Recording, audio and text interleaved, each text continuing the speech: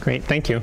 Um, it's a pleasure to be here today. Um, after sort of sitting in on some of the stuff this morning, I, I do feel like saying that, and now for something completely different, because I think this is going to um, feel very different from um, kind of what you, uh, most of what you've been doing, I think. Um, so uh, I'm gonna I'm gonna talk a little bit about um, kind of uh, what what I do, kind of how I got into it, what the this field that um, has kind of be called neuroethics is, um, and uh, say a little bit about that, and then uh, and then I think bring it to the kind some of the an intersection with the kinds of things that um, that you're working on, and then I thought what we do uh, toward the latter half is um, is kind of work through some cases together, uh, maybe break break into some some groups and kind of work on, on those in groups, and then kind of come together uh, as as a larger group. Um, so. Uh, I'll start by saying I don't have any disclosures. This is something usually more important for, for medical type lectures. Um, so, uh, so up here, I work in this uh, neural engineering center called the, the Center for Sensorimotor Neural Engineering. And it's a NSF funded center. It's been around um, almost 10 years now. Um, and it's, it's focused on implantable uh, uh, brain electrodes um, for kind of a variety of, of conditions, um, spinal cord injury, stroke, um, and other things. Um, when, it was, when it was founded and the, the, um, the PIs were sort of putting together the proposal, um, I think there was this realization both on their part and uh, at the NSF that uh, this kind of research uh, was bound to raise some ethical issues. And they wanted to build in from the ground floor um, uh, some, um, some infrastructure to start thinking about those in tandem with developing the devices. And so um, they weren't sure kind of what that would uh, entail, um, but they did sort of recognize that from, uh, from early on. And so, um, so over the, the life of the center, there's, there's a group uh, that I'm a part of that, that does um, both kind of conceptual work, um, kind of talking through different uh, uh, uh, ethical issues sort of at a conceptual level that are raised by uh, um, this sort of technology, and then doing kind of more empirical work. So kind of going out and, uh, and talking to people who um, are in the, uh, that we enroll in the studies about how the, uh, about why they want to enroll, um, what their experience is in the trials, um, as well as talking to people who um, might benefit from the, from the devices. So I think one of the worries, um, kind of when we started, was that um, that the people developing the devices would think that they know what are the most important things that the, that the individuals um, would want, to, uh, and uh, without asking them, um, uh, sometimes we're mistaken. So, so for instance, um, there's um, a relatively uh, famous study um, of um, sort of interviewing people with uh, uh, uh, uh, cervical injuries um, who are in wheelchairs. And then they asked uh, um, engineers uh, what, what they think the, their priority would be. You know, if they could have anything, what would it be? And, it, uh, and the engineers said, well, to be able to walk again. We think people would want to be able to walk again, and that's, that's the kinds of things that we should work on. Um, but when you talk to the, the individuals, their, um, their higher priorities was, were um, uh, bowel and bladder function, um, um, and even sexual function was uh, was more important than um, uh, than being able to walk again. So you know, unless you kind of go out and ask people, um, it's uh, it's hard to know what people's um, priorities are. So, uh, you know, when, uh, when our center started, it's about the same time that uh, a number of the, the, the uh, kind of brain projects from around the world got started. So, um, you know, the Obama's Brain Initiative starts in 2014. Um, funded with, I think the first year was about uh, $50 million. Um, Last year, I think they got 260, so just kind of a, uh, a big ramp up. And this is matched by the, the European Human Brain Project, and, and China has a, a big project now. And so, um, so clearly a lot of societal resources are going into to funding neuroscience. Um, when, uh, when the Obama administration set up the, the BRAIN initiative, they laid out a number of principles um, for kind of what it should do and what the, what the aims were. And so one of them was um, consider the ethical implications of, of this research. So things like um, neural enhancement and, and data privacy, um, and how advances in neuroscience might be used in the law or education or, um, or in the commercial space. And this sort of um, sort of fits in with this sort of the emergence of this field called neuroethics, which, which sort of shows up in the early 2000s. Um, and uh, and it tends to be initially organized around kind of two different issues. One is um, the um, ethics of neuroscience. So, you know, how do you how do you conduct neuroscience research in an ethical fashion? Um, and what kinds of problems should you be working on? What kinds of problems shouldn't you be working on? How how and how to work on those problems, right? Um, and then the the other is the the neuroscience of ethics, which um, is essentially how do you, know, if we think about how people make ethical decisions, what can neuroscience tell us about that? Um, and so kind of um, at the same time that uh, fMRI is, is sort of coming, coming on the scene, um, there's, a, there's a study which some of you may know of uh, by, by Josh Greene who um, gives people the, uh, the trolley problem while they're in the, the scanner. And um, uh, two variations on that. So this trolley, trolley problem um, you may know is is uh, is, this uh, dilemma used in uh, thought experiment in, in philosophy where you know there's this runaway trolley you're this person in the middle you have the opportunity to to um, shift the track. It's gonna if you do nothing it's gonna uh, barrel down and kill five people and you have the opportunity at the last second to, to shift it to just kill one person right? So this is a, um, a, a, test of what kind of ethical thinking um, uh, um, what kind of ethical thinking, whether sort of utilitarian thinking or whether or not um, something uh, more akin to um, what's called deontology or Kantian thinking about um, which of those ought to help decide these sorts of dilemmas. And so his group sort of put people in, in the scanner with this, with this uh, dilemma and then a variant of, of that where um, you have the uh, opportunity not to, to pull a switch, but actually to push someone over the edge of a, uh, of a drawbridge and onto the track. And, um, and his, his theory was that those are two very different problems. One is very um, uh, sort of personal moral, and the other is, is sort of um, an impersonal moral, and that we use different we activate different parts of our brain and different uh, thought processes. And so this, this got a lot of interest. Um, and you may know some of this or may know, may know more of it than I do. Um, um, but that, that's kind of how things kind of got started. Um, but of course, there was uh, lots of um, uh, there were lots of ethical issues in neuroscience and, and neurology and psychiatry uh, before the early 2000s. Um, even though the sort of field seemed to get started uh, about then. Um, if you go back to the President's Commission, so every president since Carter has created a, an ethics commission to examine um, ethical issues in, in, uh, in emerging technology and um, new therapies in medicine, thinking that you know uh, with these developments uh, come new problems that we need to sort of um, think through. The current administration, I think, is probably the only one that has um, not created one of these. Um, but even if you kind of go back, um, you know, to the to the 70s, um, you know, you you have concern with psychiatric and neurologic issues in ethics. So, you know, should we enroll um, the mentally ill in research or not? Or are they, um, or are they a protected population, right? So this is kind of where, for those of you who deal with the IRBs, this is where the, the whole notion of um, special protections for people with uh, with psychiatric illness comes from.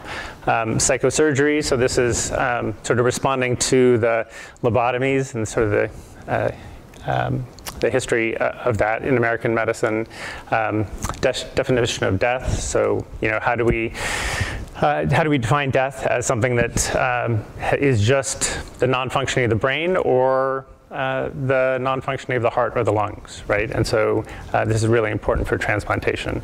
Um, and then, um, and then kind of in the in the 90s, there's kind of this swing back from um, sort of protecting certain vulnerable vulnerable populations to a worry that maybe we had overprotected by um, you know, if you exclude people with schizophrenia and Alzheimer's disease from research, turns out there's less research done on those diseases and people with those diseases don't benefit from research. So trying to find a, a, a way to, to better assess decision-making capacity and who can participate in research and who, um, and who uh, should, should be uh, more protected.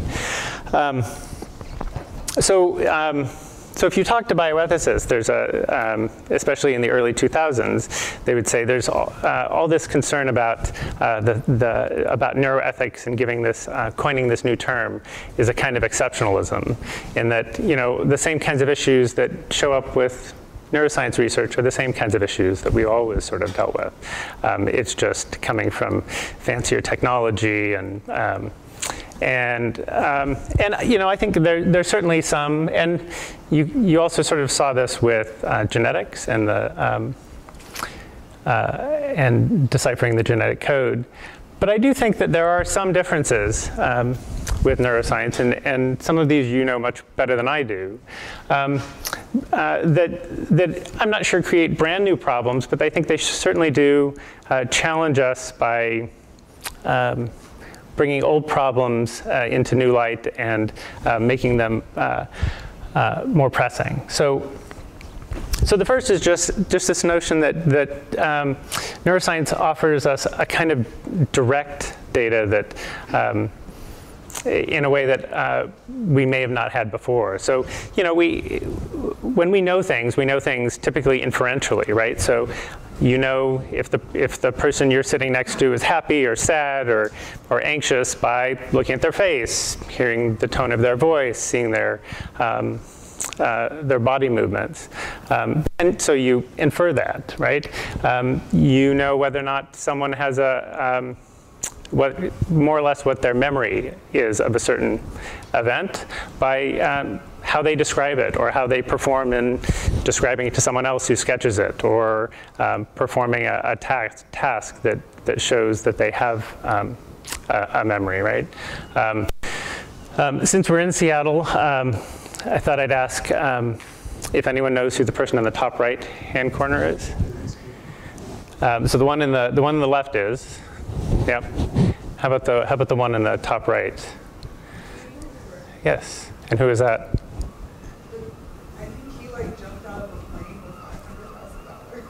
Yeah, yeah. So on, so on, uh, uh, on, on, Thanksgiving, um, 1971, he uh, took off from, from Portland up, flying up here to Seattle. Um, uh, had shown up at the airport, bought a ticket in cash, um, which you can't do anymore. Uh, got on the plane, um, showed someone that he had a bomb, um, said that he wanted $200,000 and some parachutes, uh, landed in C- at SeaTac here. Um, they gave him those things. Um, uh, they flew back to Portland and he, uh, he opened the door and, and, jumped out halfway between Seattle and Portland and they never found him. Um, uh, and there's, there's uh, periodically, maybe every couple of years in the, in the press here, there are new theories. So um, so, um, but, but neuroscience offers us uh, a kind of direct data, right? So, um, you know, you can put someone in a scanner and uh, ask them uh, uh while, they're, while they say they're experiencing some emotional state, or, you, or while, they're, while they are trying to recall some memory, right? And you can um, get some, some, some data, some correlation between uh, that mental state and uh, and that activity, right? And um, and we can, uh, you know, stimulate the brain in a way that's more direct than, say, um, you know, telling someone to uh, to do to telling someone to do someone do something or go on a run or or, or something like that, right? There just there seems to be seems to be something different um, uh, when things are are more direct. Um, just the fact that a lot of the data that we collect is just so much larger than it was before, right? So this is a, a picture of, a, of the original uh, one of the original CAT scans up up there in the left, and then um, and then pictures of CAT scans used to uh, combine structure and uh, and function in someone who's having a stroke now, and just the amount of data that are that um, goes into one versus the other uh, is just dramatic. Um, and on the right are um, EEGs. So you know we had paper EEGs before, and now um, uh, you know you do. Um, EEG recording over 24 hours to assess for some whether someone has seizures, and um, and that you know a day's recording is is 10 gigs. So um, so just a, a lot of data. Um, and then computational power. Again, something you know much more about than I do. This, um, this is my uh, uh, first computer, which was uh, referred to as a, a, lunchbox. It had a, it had a whopping 12 um, megahertz processor and, um, and a, a, 40 megabyte hard drive, which was just amazing. And uh, uh, it cost me a, a mere $2,000 back in 1990. Um, so um, I think, I think those sort of three features of sort of the emergence of neuroscience are, are important and, and do sort of push us um, to sort of think about um, think about issues that we've already thought about before, but um, but raises new questions. So so one is sort of disorders of consciousness. So um, you know, persistent vegetative state uh, uh, and the uh, and the like have been um, issues that that in medicine um, going back into the 70s. So this is Karen Ann Quinlan, who the sort of famous case of a, of a woman who entered a persistent vegetative state, and her parent uh, was on a ventilator, and her parents wanted to take uh, the ventilator off and let her die. And um, and the hospital, this was in the mid 70s in New Jersey, said you can't do that; she'll die. Um, um, you'd be killing her. Um, and then uh, they took uh, the family took them to court, and then the, the state said as the state of New Jersey, it's our responsibility to protect people from, um, from being removed from, from, uh, uh, from ventilators and such. And so they went all the way up to the, to the Supreme Court, and this sort of started um, uh, a precedent uh, that uh, is just important that we now sort of take for granted that um, we can refuse medical care um, even if it's uh, life sustaining. Um, and that um, and that we can have surrogates who speak on our behalf. Um, and so that those, those sorts of things have just become um, sort of standard fare in medicine and bioethics. But, uh, but neuroscience allows us to, to do things like put someone who everyone has felt is in a persistent vegetative state um, in, an, in a, a scanner, uh, ask them to, to imagine playing tennis or walking around the room, and then find that they activate the same brain, brain regions as a control, which um, I think shocked a lot of people in, in neurology, right? And so um, you combine that sort of work with um, some work in using deep brain stimulators in, in individuals with um, profound disorders of consciousness and find that uh, sometimes uh, it dramatically improves their uh, ability to, to function. And when you combine those two things, uh, it's not surprising that there's um, that raises a whole whole set of new issues. Um, one of which is, you know, are we um, are we violating the human rights of this huge group of people? There's more than 100,000 people who um, sort of are diagnosed with uh, in being vegetative every year and put in nursing homes, and maybe we're not diagnosing them right, and maybe we're not treating them right. Um, but also, if you can treat people and and um, and take them from uh, pretty much um, almost never conscious to slightly more conscious, are you doing them a service or a disservice? I mean, they're um, hard questions that before, before this technology, we really weren't asking. Um, enhancement has been, a, has been a, an issue in bioethics, uh, again, back into the 70s. Kind of one of the, uh, the main debates was uh, over, over uh, using human growth hormone, hormone in, in, uh, in children who uh, were of short stature, right, to get them up to a, a, a quote unquote normal height um, because of the advantage, social advantages that would come with that. Um, uh, and that kind of debate has sort of morphed into um, debates about using enhancements in sports or um, cognitive enhancements, right? Ritalin or Adderall for for um, uh, for academics or work. Um, and and so if you you then sort of bring in neuroscience. The kinds of devices that are now available or are likely to become available raise a lot of these uh, similar questions. So on the left here is a cochlear implant. Um, uh, so what if you could use a cochlear implant to improve someone's hearing, not just kind of back to sort of um, average human hearing, but better than any human can hear, right? Is that something that we should do, should or not? Um, there was a, there's a researcher in Canada who, who surveyed people who were getting or who had cochlear implants and asked them this question. And I think almost half of them said that they would definitely want that. So is that something you would deny people or, uh, or not? Um, and you know, other technologies are going to um, uh, raise sort of similar questions. Um, privacy and confidentiality is a big um, and long-standing uh, issue in, in medicine, right? Um, one, um, one that we, we think of as uh, rather settled, right? So um, we now have regulations that uh, protect medical information and genetic information, um, and there are some exceptions, right? If, if um, this is the Tarasoff case, so um, you know you you can't confidentiality isn't inviolable. You can break confidentiality if, if you have to protect someone uh, of the public from a known danger.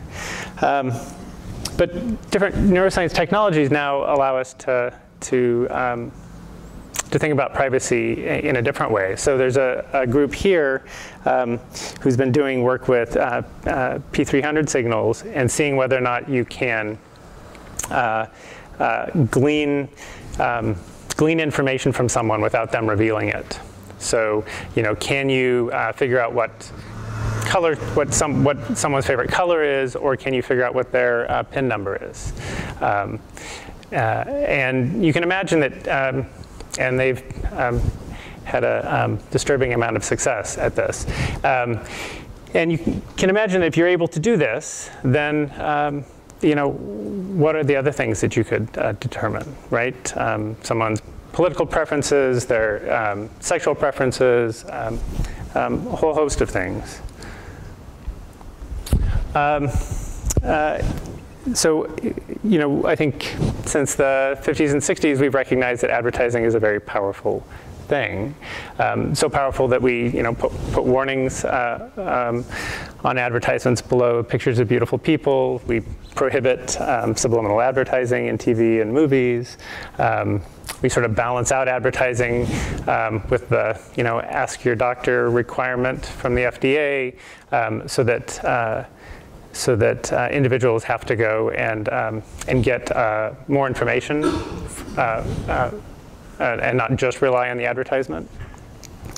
Um, uh, but now there's sort of this, this thing called, that has been termed neuromarketing, right? Which is using neuroscience to, to make advertising more powerful.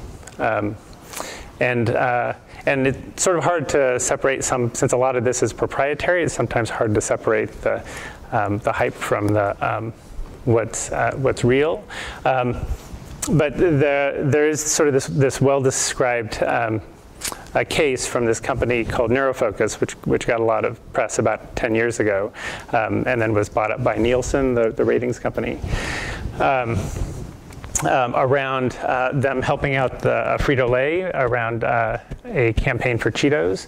So, um, so I guess Fritos was concerned, or Frito-Lay was concerned that um, uh, that that the uh, that Cheetos were were kind of messy, and they were afraid that that this might be. Um, uh, in, impairing their sales, um, and so um, and so they hired an advertising company uh, and created this um, uh, and, and Neurofocus and created this ad, which is kind of fun to, to watch if you have a chance, where um, where these two women are in a in a laundromat and um, and one woman is, is sort of um, really mean to the other, and uh, and that uh, and that woman then uh, turns the mean one sort of turn, turns away, and the other the other woman takes her Cheetos and opens up the other woman's dryer and puts them in and closes it and um, and walks away, and. Um, uh, and the, they did the fo this, these focus groups, and the focus group said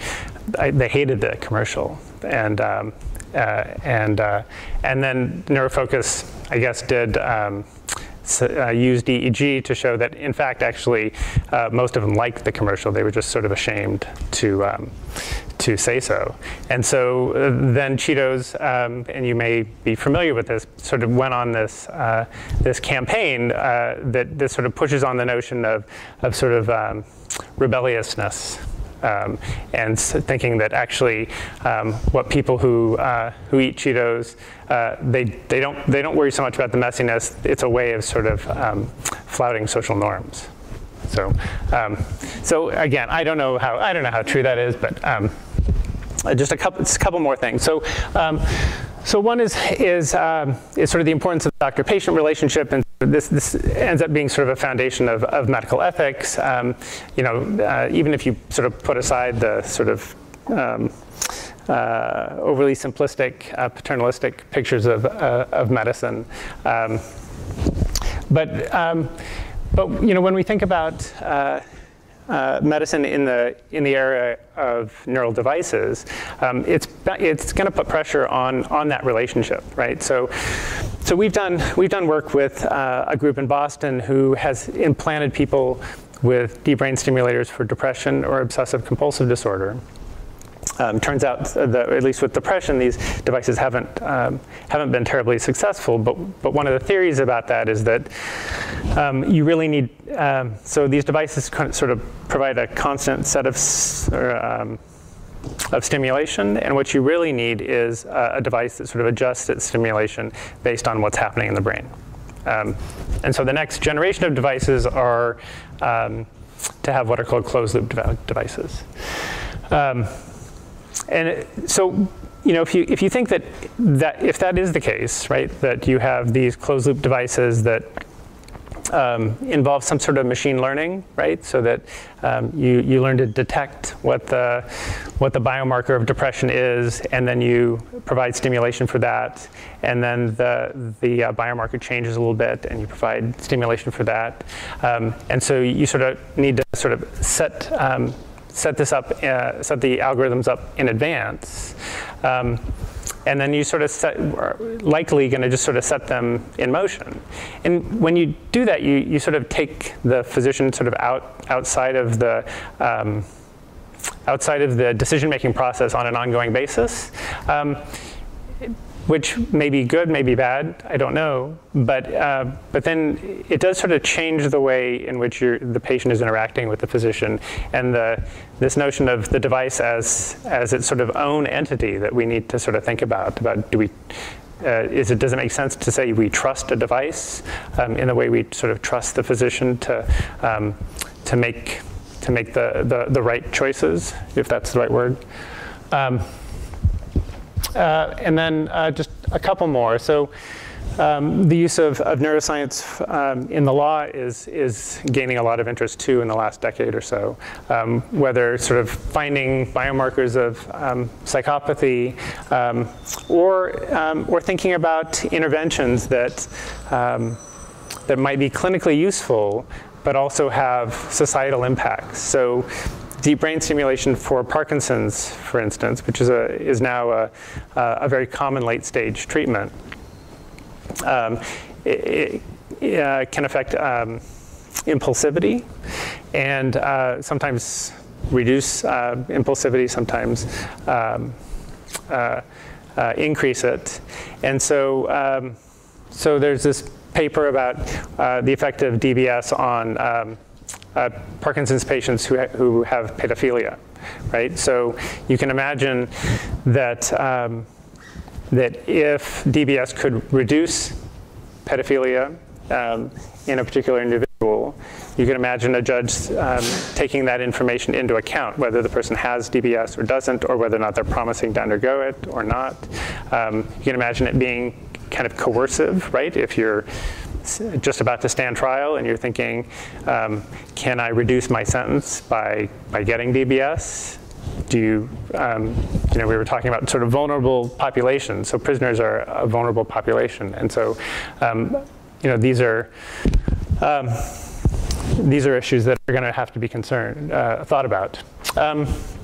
The use of dual technology, right? So a lot of the a lot of the technologies uh, being developed either um, with um, DARPA funding or or other military funding um, have military uses, but they also potentially have um, non-military uses, and sort of figuring out how we want to um, to balance that is worth thinking about. Uh, and then the last thing I just wanted to, to point out is um, uh, sort of work, the, the way technology is, is going to increasingly change the workplace, right? So, um, you know, we've, we've used personality uh, tests for a long time to, to assess uh, whether or not people are right for their job. Um, um, and um, you know, people or companies have used uh, video to, to surveil their workers, and or you know now sort of um, keystroke monitoring, right, to, to, to figure out certain things about their workers. But um, but there's um, but there are you know neuroscience can be used. Uh, to do this as well. So there was this article um, a couple months ago about a Chinese company that was um, hooking its workers up to EEG um, to measure their level of um, attention and concentration. Um, I don't know if it's actually uh, would actually provide any kind of data. It's uh, it would seem to be me to be um, unlikely to do so. Um, but I, you know, I think there there certainly is um, uh, an openness to to using um, to using neuroscience in this way, um, and thinking about thinking about uh, workers' rights. Uh, is something we probably ought to do. Um, so, um, so what I thought I'd do now is I'm gonna, uh, I've got these cases. Um, there are three of them. I thought we could uh, uh, break apart into how many, I don't know how many groups you would recommend us doing um, and how we do that. um, probably groups of approximately six is good. Okay we can do that. And then we'll, we'll talk for, you know, you can talk in those groups for, um, you know, 10 minutes or so, and then we'll just kind of, um, we'll come back to the group and then, uh, and then do it again a couple times.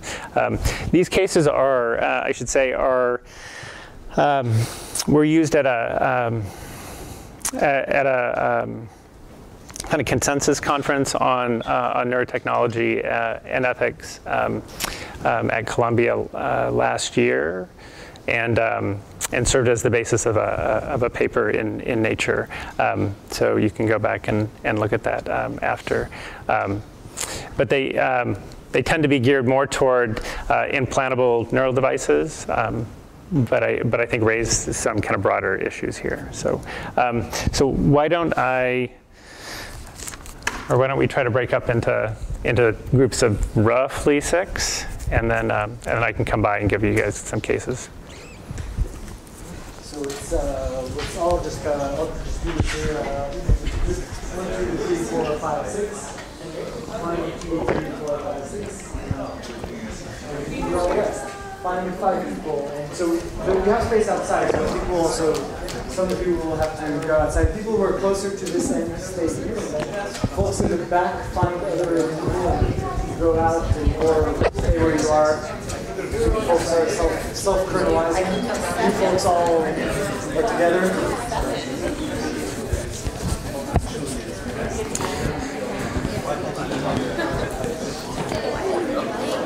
So can I give you, there's a couple, I'll, if I have more, I'll give you guys more.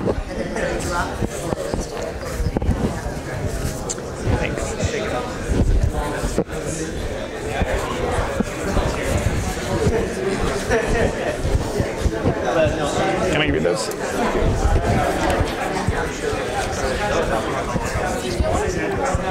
Yep. Uh,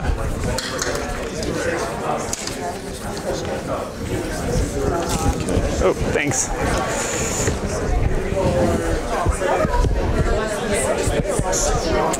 Want to I'm just gonna, I'm gonna step by you here.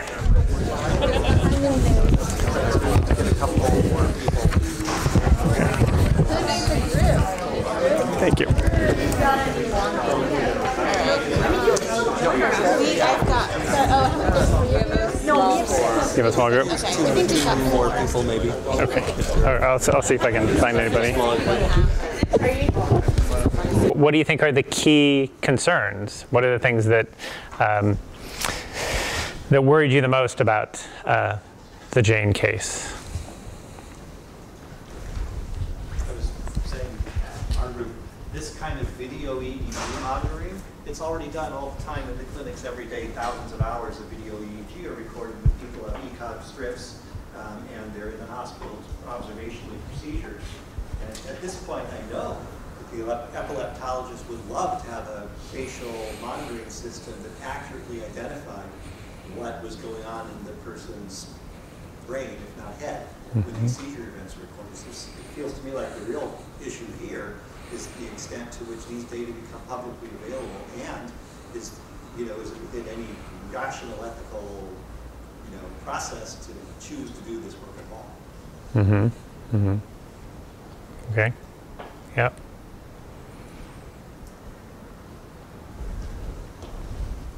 We had an interesting segue with the discussion about um, the disparity between the financial situation of the participant and the amount of money the participant would be offered uh, for a particular study. And there were there were voices saying that um, it, it actually would be unethical because of that disparity, because you know the amount of money would be too high considering the uh, the wealth, income, and particular situation of participants. Mm-hmm. So you're worried about um, co- coercion within within. She couldn't say no. What's that? Like saying all your organs. Yeah, yeah. Well, so I mean, this is an interesting question, right? I mean, whether or not, uh, right, you can't sell your organs, um, but there seems to be. Uh, but I'm, I mean, do you think that uh, that the, the analogy holds to your um, neural data or not? I feel like actually also might seem maybe a little paternalistic, that you should let her, you should make the decision for herself. Mm-hmm. Rather than deciding for her that this is so much that you should know about it because it would be coerced. Just to like that example. Mm-hmm. Yeah, yeah. I think that that is the opposite. She feel coerced into selling it because she has no other options, right? Maybe if she wasn't, if her home wasn't going to be foreclosed, then she would think very differently. But now she's vulnerable because she's in financial distress. Mm-hmm. Mm-hmm. But then tell me, Go ahead.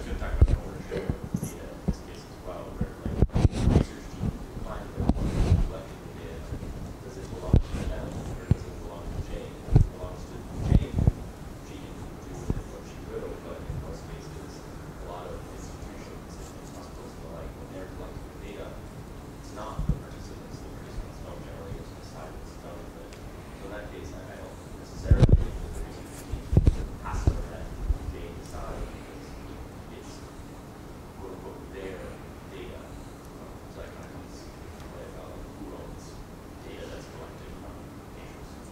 Mm-hmm. Yeah. Yeah.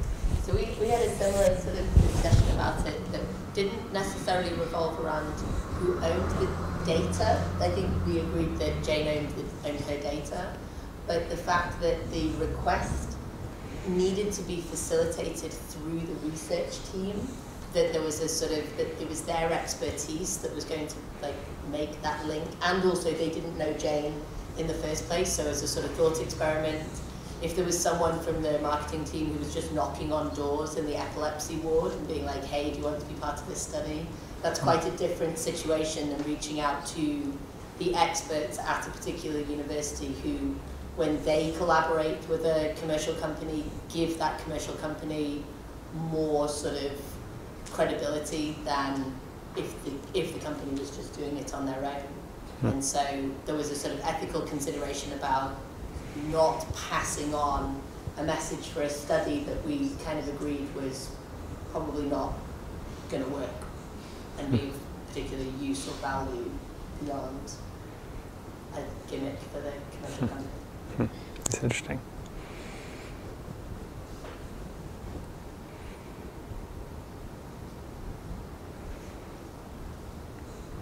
Yeah, you know, I think, uh, I mean, one of the things that I've been thinking about is, um, you know, the uh, in in right there. There's there's sort of the, the primary question about whether or not you should be able to sell your data, but there's also um, uh, there's also this question of, of vulnerability. So you, you could im- you could imagine that um, there's a gaming company that uh, develops a device that uh, that uh, does effectively measure some um, some neural signals and um, develops a really expensive gaming uh, gaming device, um, such that um, there are a lot of uh, people who would like to use that but can't afford to use it, but then uh, might trade the ability to have that um, uh, by giving their, their data to the to the gaming company, right? Um, and um, and so is that is that this, a similar sort of vulnerability concern?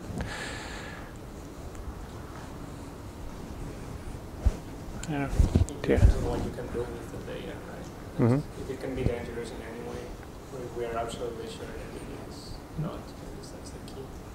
What if it's not dangerous? What if it's just that I can figure out what products to to push to you in the Right, in the so game? it can Be dangerous, we may argue. Is this what happens all the time?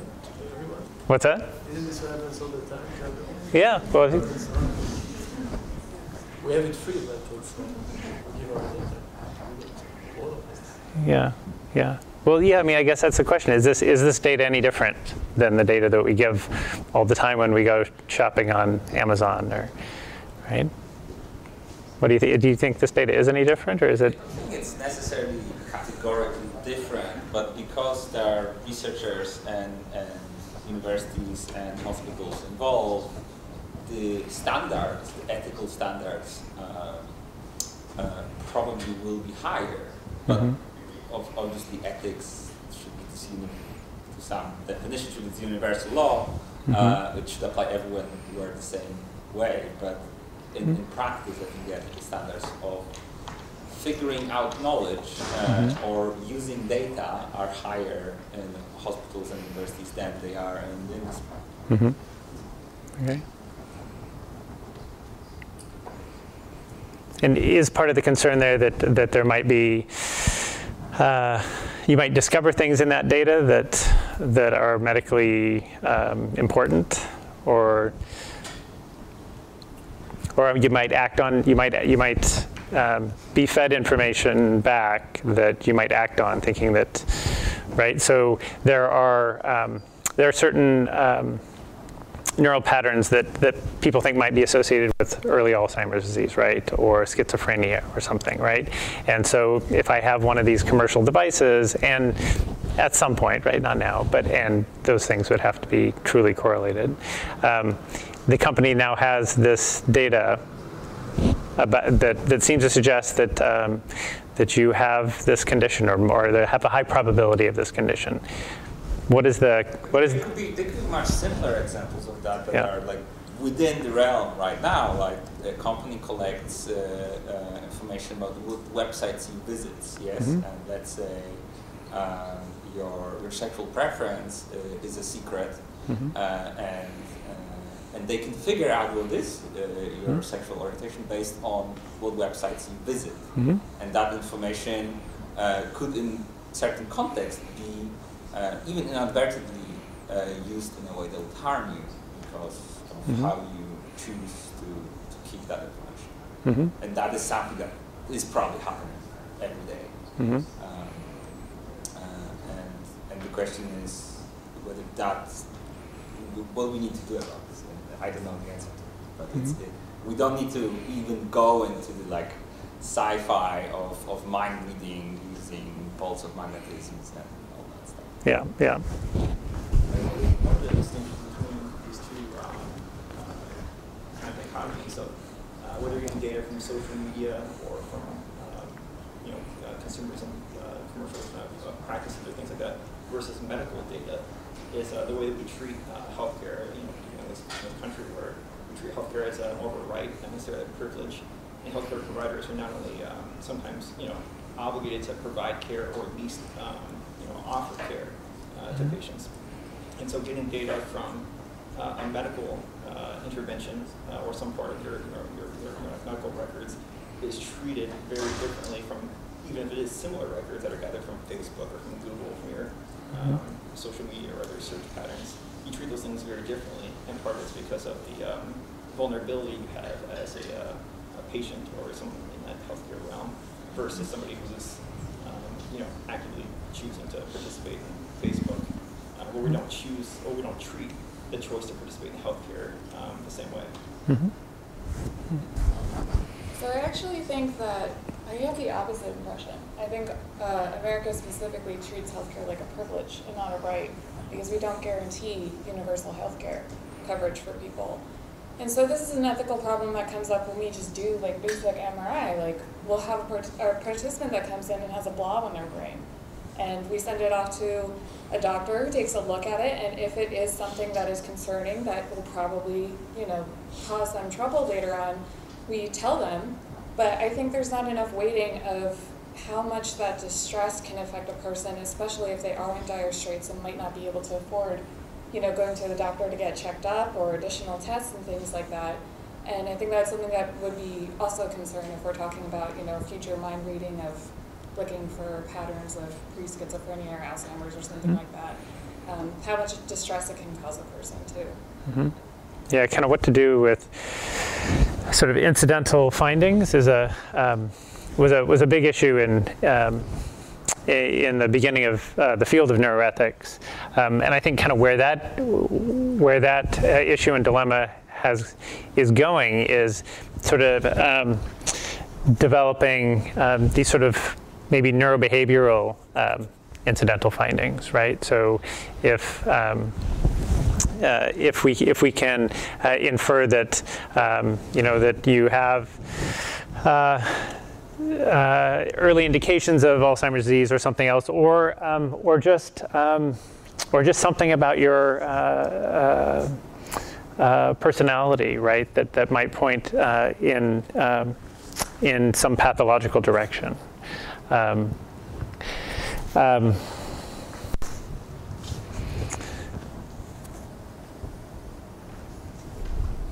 Okay, so let's let's go. Let's um, kind of quickly move on to the second second case.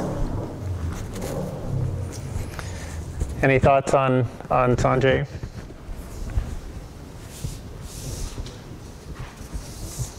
How did Sanjay change his name to John? John changed his name to yeah, yeah, yeah. Yes, there was there was yeah. There were a couple of pronouns I, I, I forgot to fix and a couple names, so I apologize. yeah.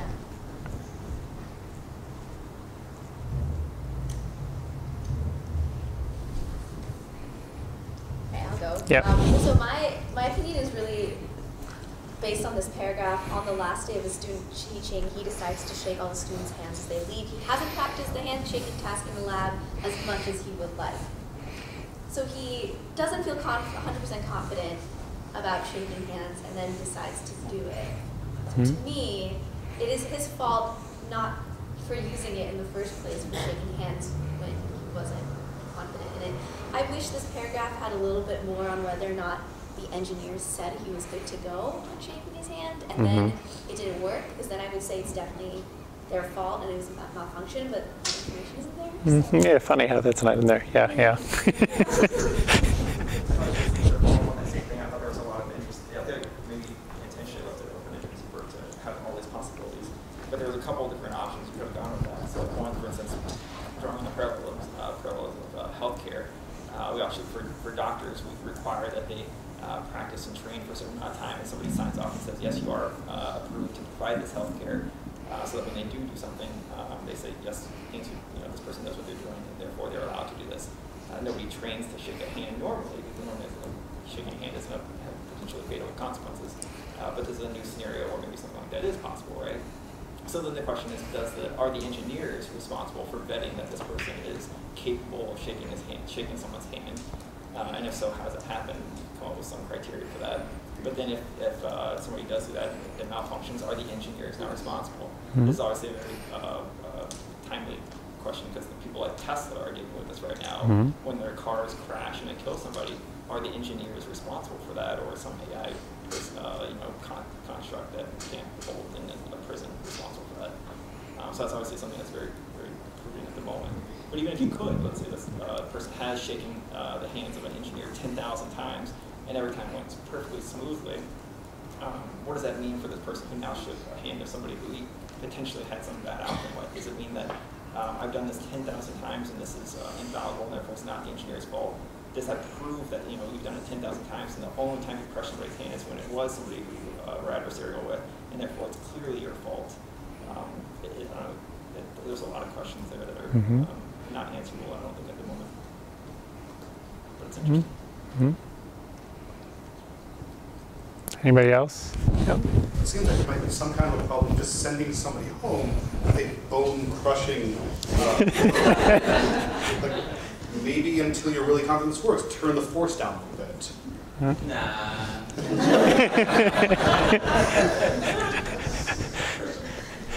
Yeah. Yeah, but I mean, I guess one of the issues, yeah, go ahead. We talked about that as well, but one of the issues is like, I mean, yeah, it's unclear exactly which bones are breaking, but your hands, and especially like your thumb, a lot of those bones you can break just by shaking somebody else's hand with your own hand. And so, yeah, if you're, if you're limiting this, this uh, prosthesis to, you know, forces, that force, then you're potentially limiting other uses of it. Can you open a jar and do enough force to, to, to, you know, push open a really hard door or something like that. So it's kind of a balance between uh, a level of being utilitarian for the rest of your life and safety, potential safety. I'm not shaking hands with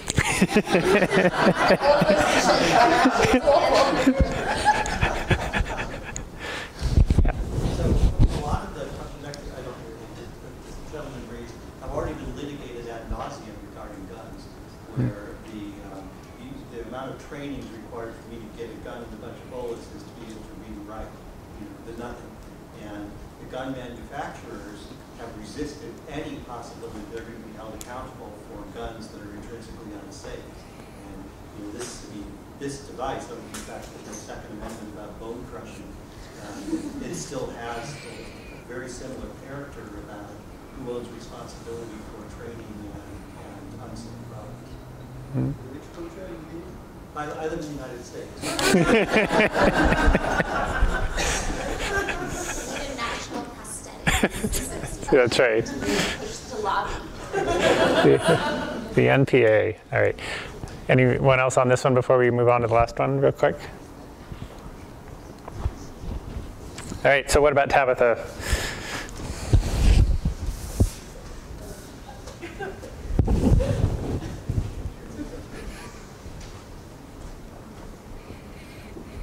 Yeah.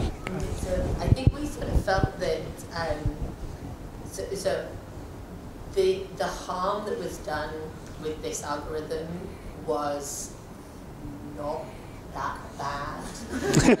was it wasn't bone crushing? Yeah. Um, we've all sort of made typos or like autocorrect mistakes that kind of add these things together.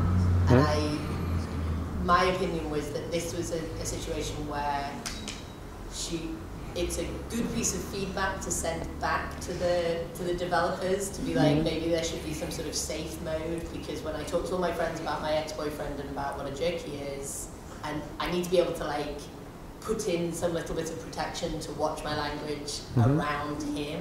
Mhm. But I, I, my personal opinion was that it, it wasn't something that kind of made it super unethical for the um, researchers to build this device in the first place. Mm-hmm. Okay. The, the Freudian slip was not as bad as the Freudian grip. Yep. There you go. There you go. Nice. Well, well done. Uh, well done. a little bit of a different perspective. Going in between these past two, like thinking about checking in with the patient and how they feel versus what we sort of imbue onto them and thinking like what was the psychological trauma each of these people experienced based on like these malfunctions that they encountered. So maybe it didn't seem like a big deal that like she slipped up and called him a jerk, but if you have like intense social anxiety and whatever else, this could have been way more like that, even if you're not breaking someone else's bones. But I think this sort of exists in, in both of these two scenarios, like what was the harm Right. inflicted on the individual. Yeah. Uh, I was more concerned with the fact that the, that the algorithm has access to all this rich data and AI, a lot of AI have a propensity to be incredibly racist and prejudiced Mhm. that um, we're almost lucky that she only called him a jerk and that's something that she really didn't need to. Yeah, it's a good. Those thoughts are her brain. If she, let's just say she was racist, and the AI just took away that whole Like, Is that her fault or implicitly- the AI's fault? I don't know. To me, it raised the concern of uh, making sure that the training data is very well understood and, and, and, and, uh, and you know, really released in a way that is understood that, you know, by, by the person, of course, by himself, but uh, also by the person like uh, others. Mhm. Because that's, that's where the information is uh, can begin. Uh, so what is the exact training of that AI is, is, a, is a key aspect and and how do you deal with this information with respect to the machine? Mhm.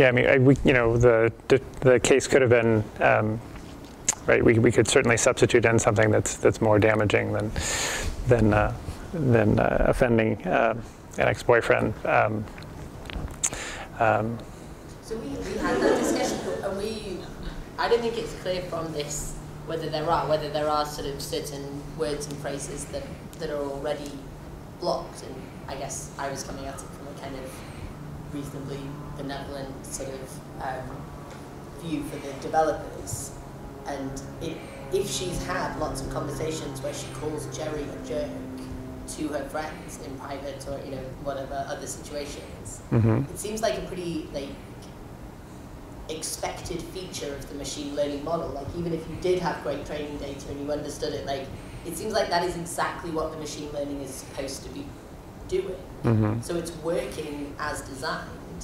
Mhm. And I think I completely agree though. I think it's a really important point about kind of communicating in both directions about like here's the, here's the thing, it will learn and it won't know your social context when, when it's coming up with responses.